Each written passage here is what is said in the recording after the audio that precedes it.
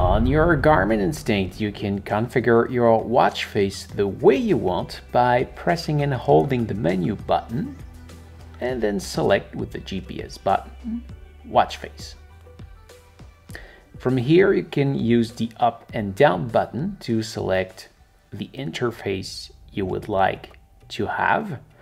Uh, the first one will be the black one and then the other one just will be the same thing into reverse. So select the uh, interface you like the most. Personally, this is the one I like the most. And when you're satisfied, uh, hit the GPS button to confirm. And then you're gonna have another option and it will be to customize everything that, that is onto that interface. So again, use the GPS button to customize.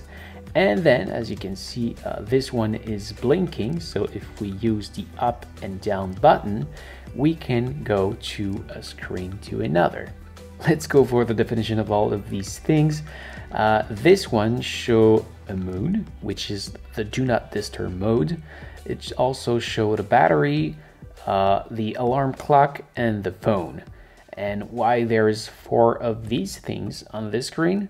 So you've got the battery, which is obvious, will will always show you the battery level. Uh, the moon will tell you if the do not disturb mode is enabled or not. The alarm clock will tell you if uh, there is an alarm clock incoming or not, and the phone will tell you if your phone is connected or not. It will tell you if it is connected or not by showing it or not. So if you see the alarm clock, this means that there is an alarm clock incoming, and if it goes away, it's because there's not. Uh, so yes, I go up and down to uh, switch it. Uh, if you just want to see the battery level, you can get it. Uh, this will show you the uh, date. So we are Monday 24. Uh, so the day of the week and the day of the month. Or you can also have the month and the day of the month. Uh, your heart rate, so if uh, maybe I put my hand just behind it, it will start to catch my heart rate, or maybe not, whatever. Uh, this will show you uh, full time your heart rate. Uh, this is how many steps you've done today. Uh, this is the actual elevation, so actually I am at 150 meter in altitude. Uh, this is the atmospherical pressure. This is the actual atmospherical pressure, 1024. And the arrow indicate if uh, the pressure going up, down, or stable. So the, the pressure is actually stable. Uh, this is uh, the sunset time uh, and this is going by a next occurrence. So uh, the sun will set at 2023 and at this time when the sun will set uh, I will see the sunrise time. Uh, then I've got the number of notification there is on the phone that is paired with uh, the actual watch. Uh, this calendar is um, actually I don't have any meetings or something uh, set into my phone, but this would tell uh, when is your next uh, appointment or something. Uh, now with 18 is the actual temperature outside. this is based on the, the last location the watch record or your phone location and actually it's 18 outside. This is your calorie burn uh, from this morning.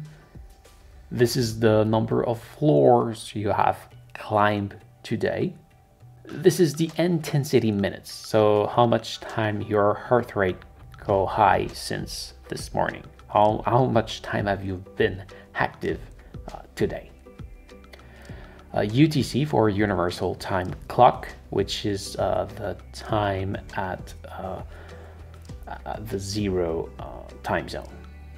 This seems to be the actual sun position into the sky, so it kind of illustrated a bit of the same thing as this one. So sunset will set at 2023, but uh, yeah, it, show it into an image. This is the moon phase. Uh, it's the moon phase, yeah. And basically we are coming back to these exact same thing as we have, have seen before, except that now the background is black and the text is white. When you're satisfied, uh, you have, uh, let's say I want, to, I want this, I want to know that we are May 24, or no, I, I want my heart rate. So I select this one and then I select with the GPS button to confirm. And if you've gone wrong and you want to change something, you can press on set to come back and modify it. So when you're satisfied, you hit the GPS button. I say GPS, but that's the confirmation button. And this will take us to uh, the next step. So this is uh, the graphic. Uh, there is fewer options. The first one will be a graphic showing you how much step you have done into your day. Uh, so the number of step and show it to you on, on a graphic. Uh, this is your heart rate for the day, again on a graphic. This is the elevation of the day. And this is the atmospherical, atmospherical pressure of the day. What do you want? I will go for the altimeter. Then uh, on the bottom, you have two information that you can have. Uh, first one will be the battery. Uh, again, uh, Monday 24, 24 May, number of steps, altimeter, atmospheric pressure. Uh, if you want to know if the atmospheric pressure is stable, going high or going lower, uh, next occurrence, so sunset, um, notification on your phone, next appointment, calorie burns, floors climb, intensity minute, and the battery level. Uh, and then when you select it, you will come to the second one and then you can choose something else if you want. So let's say for floor climbs, or no, the date should be good. May 24, then select, and it's done. This is your new watch face. So basically you navigate with up and down, you select with uh, the GPS button and you go back with the set button. And when you have done all the tour, well, your new watch face is just right there. So, this is it. Thank you for watching. I hope it helps. If yes, please smash the like button. If you are planning to buy this watch, you can see my link in the description. And don't forget to subscribe to my channel so you can find me back easily next time you need help. If you want to see my other tutorial about this watch, you can see my playlist just right here. And you can also find me on my main channel just right there. Thank you for watching. Take care and see ya.